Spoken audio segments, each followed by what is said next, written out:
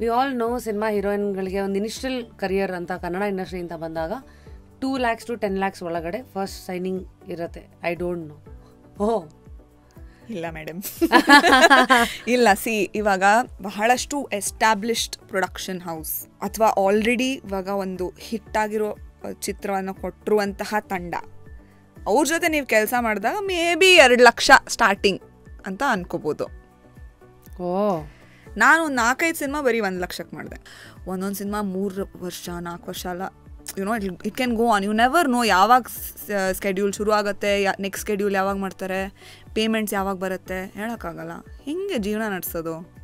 ಹೆಂಗೆ ನನ್ನ ಕಾಲ ಮೇಲೆ ನಾನು ನಿಂತ್ಕೊಂಡಿದ್ದೀನಿ ಅಂತ ಹೇಳೋದು?